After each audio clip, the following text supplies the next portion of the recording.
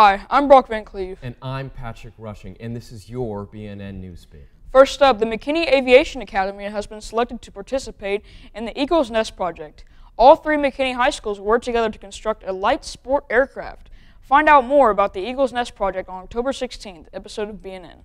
The Broadway Broncos' first show of the year, Chemical Imbalance, a fun and quirky slapstick comedy, is coming to the main stage October 15th. Be sure to look out for flyers for performance dates and times. You won't want to miss it. PSATs are coming soon, so juniors look around for your posters to see your QR code scanner to sign up. Bring your payment to J207 or pay online for $15. All sophomores will be registered for free automatically, so no need to worry. Make sure to sign up quickly as the deadline is October 9th.